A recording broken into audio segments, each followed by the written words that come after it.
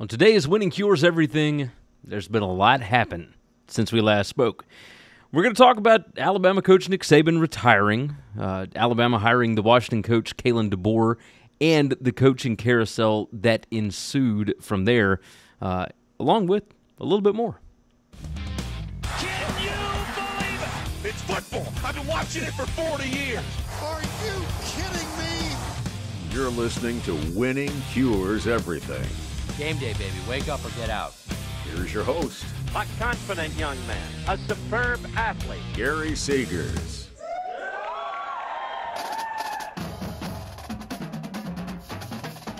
Welcome in. It is the Wednesday, January 24th edition of the show.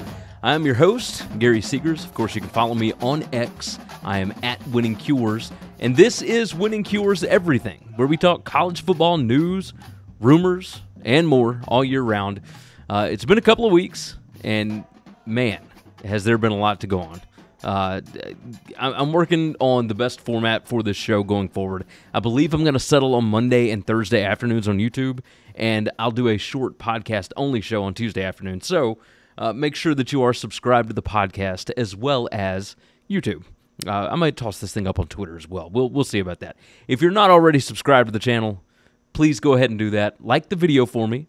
Uh, jump in the comments. Tell me what you think about today's topics. If you want to support the show, you can either become a member on the YouTube channel. I, I think it's like $2.99 a month, or you can just hit me with a donation over at buymeacoffee.com slash winning cures.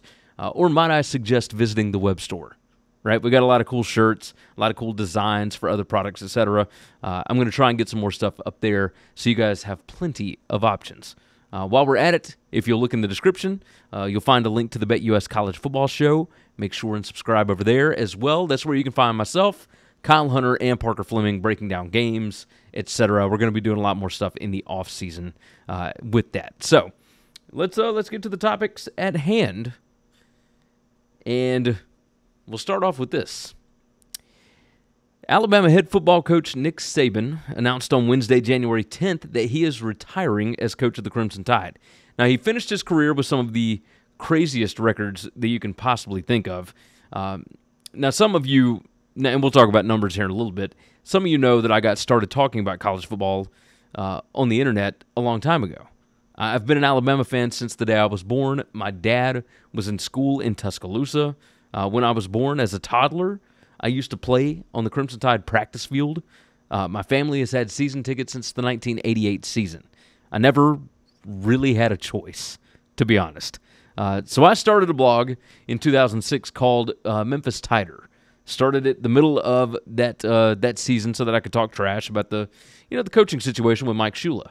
I lived through Dubose in my formative football years. Thought we struck gold with Dennis Franchione. Uh, I watched as Shula somehow found a way to win 10 games in 2005, even though that team was significantly less talented than several of the SEC teams that the Tide played that season. In 2006, uh, boneheaded coaching decisions were rampant. If you lived through it, you'll remember the jumbo package. You'll remember Chris Caps, etc. Uh, but either way, my, my blog was screaming for a coaching change. And eventually, uh, Mal Moore and the Board of Trustees decided to relieve Shula of his duties before beginning a, a big national coaching search. Now, I was convinced at times that they were hiring Steve Spurrier and then Bob Stoops and then Saban. Uh, and at one point or another, they all said no thanks. Uh, Rich Rodriguez at West Virginia was a done deal. Like ESPN even ran the report that he had agreed to become Alabama's next coach. Uh, but then apparently he met with his team, he changed his mind. Uh, that coaching search was before Twitter, before social media really took off. It lasted 44 days, and I was one of the first to ever utilize flight tracking to keep up with the coaching search. Now, eventually, you know, the NFL season ended. Nick and Terry Saban boarded a flight to Tuscaloosa. Uh, in the 44 days between Shula and Saban, my tiny little blog had over 2 million hits and over 1 million unique visitors. I mean, I was posting all the time, all the time. Uh, but from the moment that Nick Saban, you know, got kissed by a crazy lady on that tarmac, the blog didn't really have much of a purpose. Like I had created it to complain about the state of the football program in Tuscaloosa. Since Saban got there, there hadn't been a whole lot to complain about since then. Uh, Nick Saban is the greatest coach to ever do it. He won six national titles at Alabama, one at LSU, Four of those were in the BCS era. Three of them were in the college football playoff era.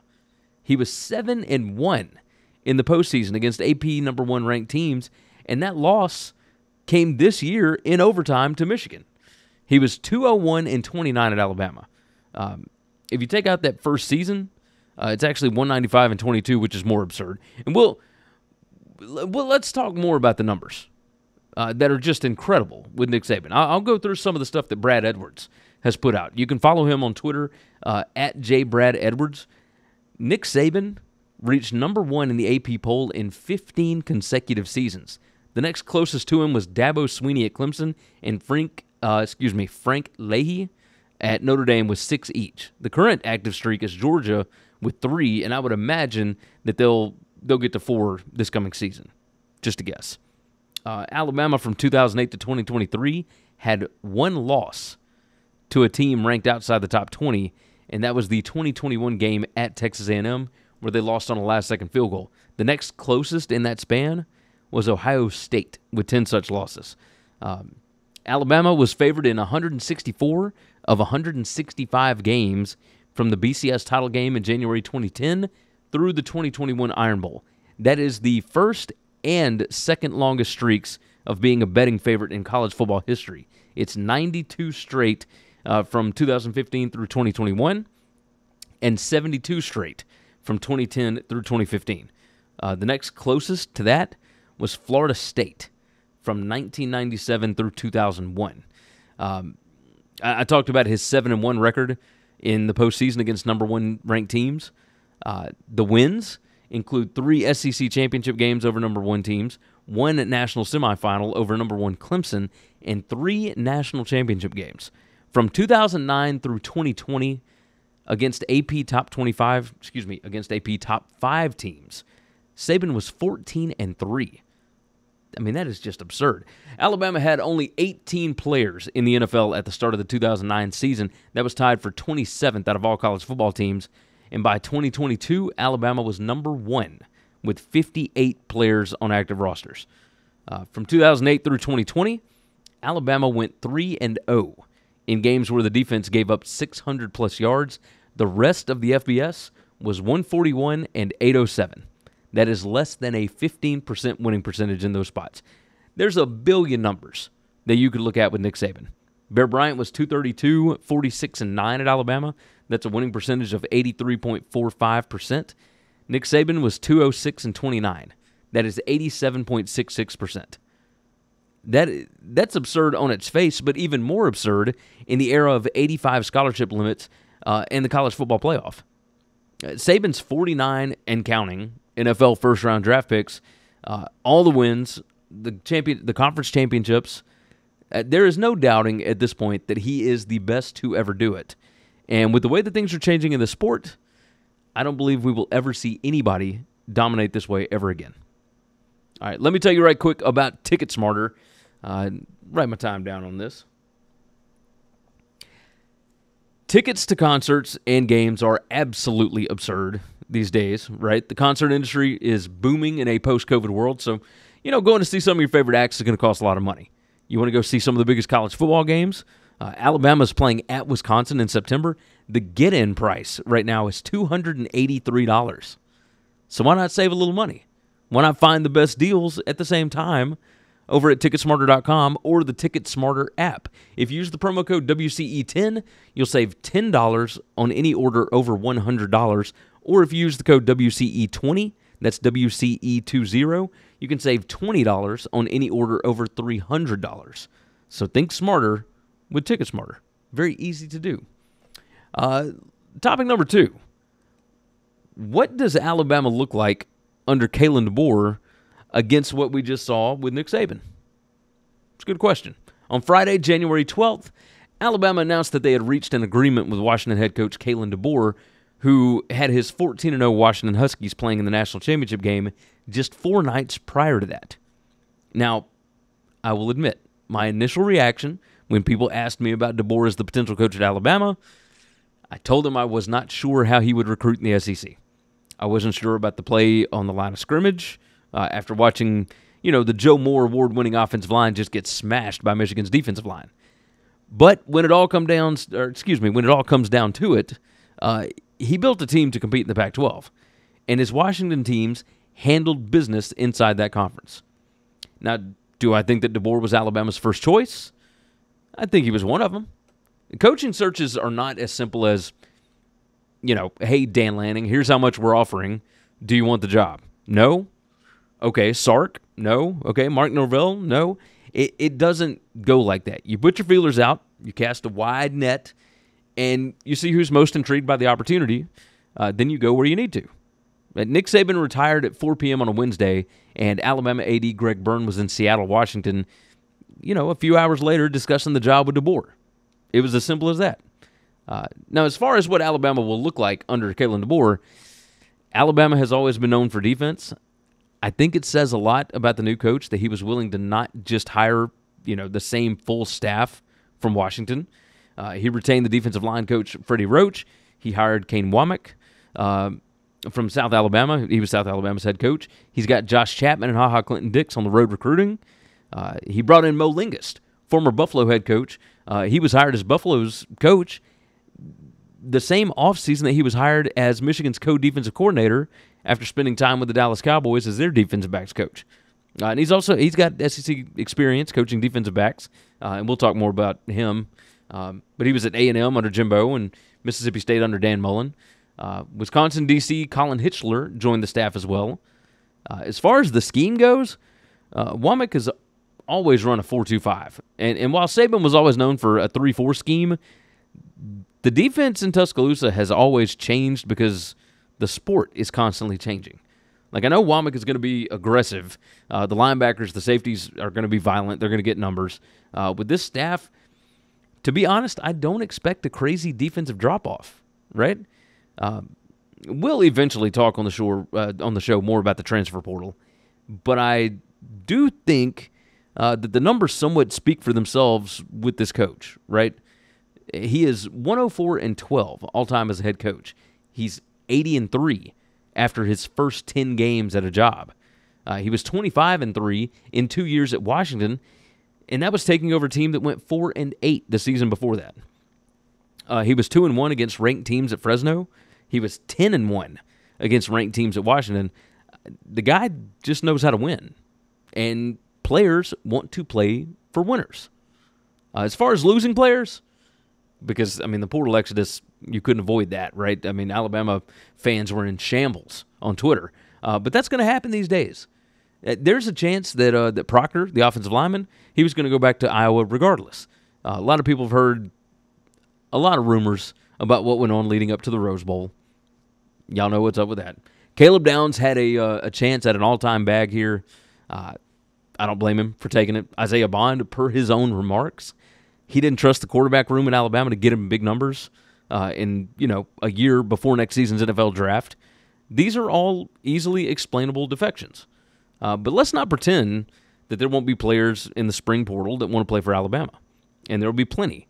And the GM now at Alabama, Courtney Morgan, he is on top of all this.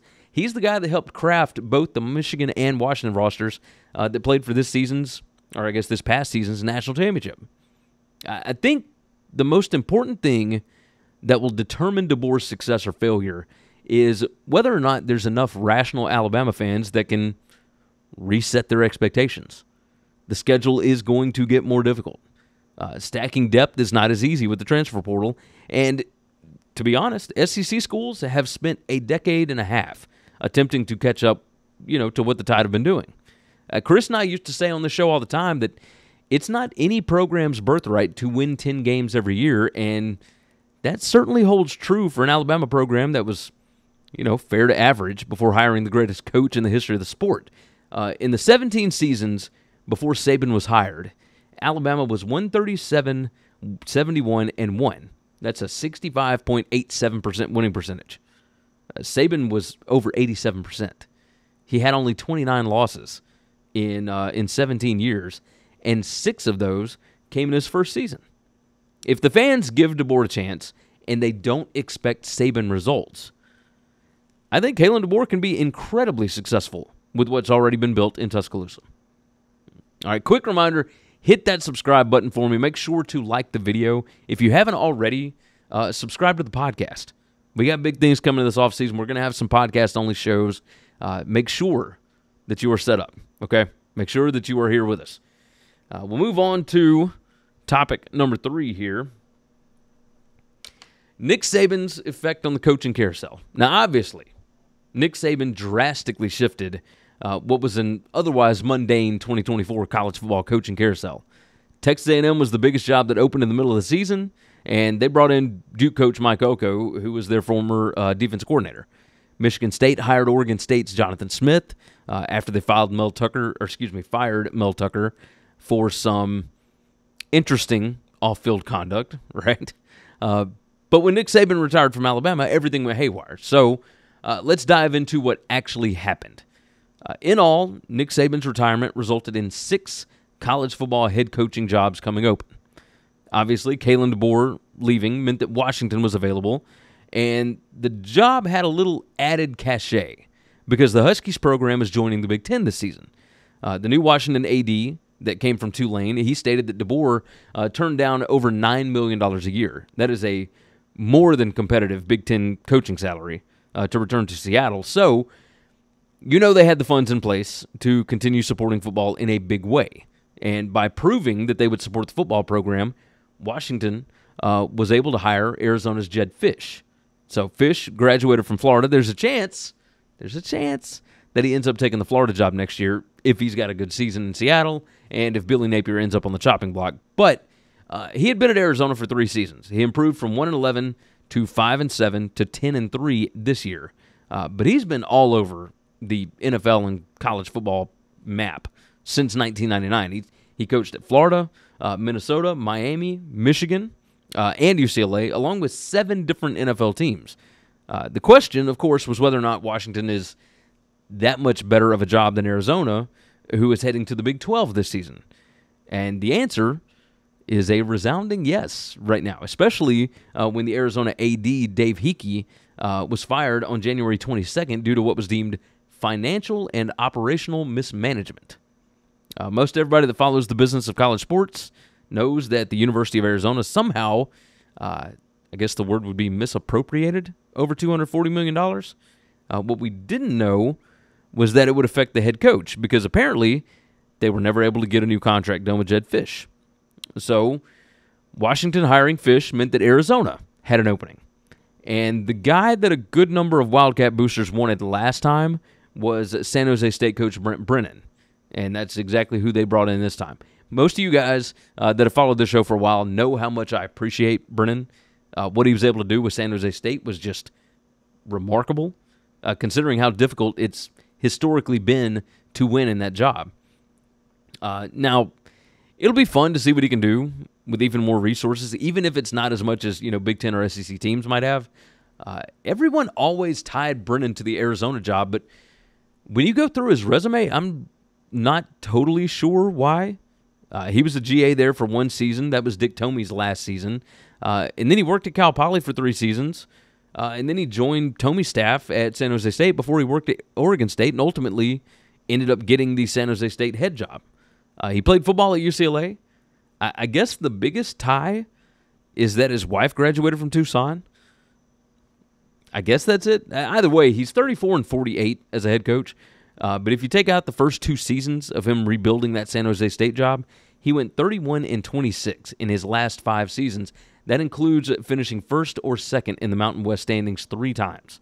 So, Arizona plucked Brennan, which means San Jose State had to make a coaching hire.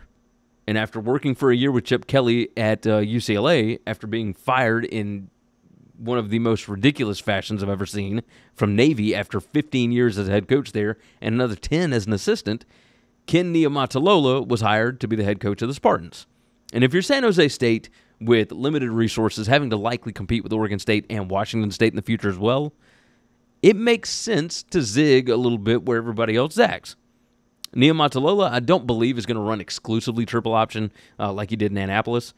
Uh, and to be fair, I, I think the success or failure of this hire kind of determines the fates of any future service academy coaches that you know might be looking to move on to bigger jobs. Uh, I know Paul Johnson did not do any Army, Navy, or Air Force coaches any favors by running exclusively triple at Georgia Tech because of how difficult it used to be to, you know, flip a roster for a certain style of play. Uh, but now, you know, San Jose State, they get an experienced, successful head coach that is uh, used to playing with fewer resources than his opponents. We'll, we'll say that. Uh, now, the next two, these were direct results of Alabama's hiring of Kalen DeBoer. Uh, one of DeBoer's best friends in the coaching industry was South Alabama head coach Kane Wommack, who was the defensive coordinator at Indiana when he was the OC in Bloomington. Now, Wommack agreed to join the Alabama staff as uh, defensive coordinator after three years leading the Jaguars in Mobile. And while it may initially come as a shock that a successful uh, Sun Belt head coach would take a coordinator position, coaches are almost more likely to get better head coaching opportunities when they're coaching one side of the ball at a bigger brand school in one of the P2 conferences. Uh, and it makes sense financially as well because, I mean, coordinators at these big time jobs are earning anywhere from, you know, one to more than $2 million a year at in the Big Ten and the SEC. Uh, Wommack was uh, 22 and 16 at South Alabama. His only SEC experience, this is a little concerning, uh, is as a GA under Hugh Freeze at Ole Miss. But he's had two different stints at South Alabama. Uh, he knows the Mobile area fa- uh, fairly well. He's had awesome defenses everywhere he's been. Um, but back to the carousel, of course. So South Alabama needed a coach and they luckily already had one on staff, and that was former Houston head coach Major Applewhite. He was 15 and 11 as a head coach of the Cougars, uh, but he was worked at Alabama and Texas in multiple roles in his 20 plus years in coaching. Uh, Applewhite was the offensive coordinator under Kane, uh, and ever since he arrived, uh, well, yeah, basically 2021 through uh, now, uh, he's been there with Wommack the whole time. It makes sense for the Jaguars administration to continue, you know, with as much staff continuity as humanly possible uh, in this situation. So Major Applewhite uh, took or takes over the job in Mobile. Uh, finally, the last domino that fell was Buffalo head coach Mo Linguist, uh, who we already talked about earlier. Uh, Linguist left his MAC head coaching job to be a member of the Crimson Tide defensive staff with Wommack. Uh, Linguist went three and nine at Buffalo this past season. He was 14 and 23 overall. He had a, a pretty crazy career path, right? Uh, DB's coach at Iowa State for two years. He was at Mississippi State under Mullen for one season, Minnesota for one season, uh, Texas A&M uh, for two seasons as cornerbacks coach. Uh, then he joined the Dallas Cowboys as DB's coach for a year. He was hired as the co-defensive coordinator for Michigan under Jim Harbaugh, uh, but then was hired almost immediately, uh, like three months later, as Buffalo's head coach before he ever coached the Wolverines, and now he ends up at Alabama. So Buffalo, who we could say was having difficulties in the post Lance Leipold era. Uh, they've turned to South Carolina associate head coach and special teams coach Pete Lembo. Uh, he was the head coach at Lehigh, at Elon, and finally at Ball State, uh, where he went 33 and 29 from 2011 through 2015.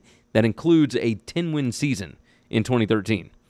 So let's uh, let's go in order here. Nick Saban was replaced by Washington's Kalen DeBoer, uh, who was replaced by Arizona's Jedd Fisch, who was then replaced by San Jose State's Brent Brennan, who was then replaced by former Navy coach Ken Niumatalolo.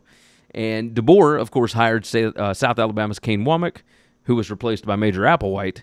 And he also hired Buffalo's Mo Linguist, who was replaced by South Carolina special teams coordinator Pete Lembo. Now, we just got to wait to see what kind of dominoes fall if Jim Harbaugh decides to leave for the NFL. It's the way it goes. Before we close things out, let's hit some rapid fire news. Uh, I appreciate you guys. Like the video for me. uh, LSU finished out their offensive coaching staff by promoting quarterback coach Joe Sloan and the wide receiver coach uh, Cortez Hankton to co offensive coordinator positions. And uh, as of today, they hired former Tulane offensive coordinator Slade Nagle as their tight ends coach. Uh, that is quite the haul to go along with bringing in Blake Baker from Missouri as their defensive coordinator and of course getting defensive line coach Bo Davis to leave Texas for Baton Rouge. That coaching staff looks nasty uh, for Brian Kelly. Uh, rumors about him potentially going to Michigan. I don't think that'd be smart, but you never know with these things. Uh, former Mississippi State quarterback Will Rogers announced he's going to stay at Washington, uh, where he committed and uh, then enrolled to play for Kalen DeBoer. Uh, he's going to spend his last college football season playing for Jedd Fisch in Seattle rather than trying to find another team uh, this late in the game. Makes sense. Uh, the ACC is going to be announcing their 2024 schedule soon. They've already announced the Week One games and their Thursday and Friday night games for this season. It's okay if you were a bit shocked to see you know names like SMU, Stanford, and Cal on the list of games. Yes, they are a part of the ACC starting the season. Yes, it's still weird to see it. Um, this is going to be a weird year, not just in the ACC, just overall, just overall. Uh, there are reports that the Los Angeles Chargers and Jim Harbaugh are close to a deal, but I mean, who knows what happens there, right? I'm sure we're going to talk about it on the show at some point whenever something actually happens. He does have a contract extension on the table from Michigan that's going to make him the highest paid coach uh, in college football. We'll see if he takes it. Who knows? Uh, Tony Altimore. Altimore. I hope I say that right. He's at TJ Altimore on Twitter. Uh, he put up a graphic showing that 50% of all college football viewership comes from only 18 teams.